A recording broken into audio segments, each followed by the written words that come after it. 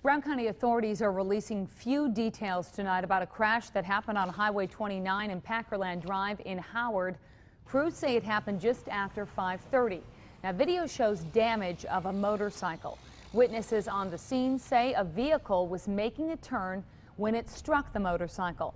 It's unclear if there are any injuries and if so, to what extent they are. Authorities were on the scene for more than two hours.